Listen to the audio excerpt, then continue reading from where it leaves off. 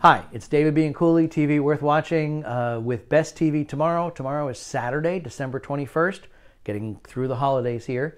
Uh, tomorrow, there is one really clear, really exciting highlight. It's Saturday Night Live, the last fresh one of the year, and the host is uh, Eddie Murphy. Eddie Murphy has not guest hosted Saturday Night Live since 1984. Now, he was part of the company, the second company, because Lorne Michaels, when he started the show, basically most of them were around from 75 to 80. Then there was a second cast, and Eddie Murphy was part of the second cast from 80 to 84. And then he left, and after he left, and he was quickly becoming a movie star, he showed up and he guest hosted once at the end of 1984. Has not been on since.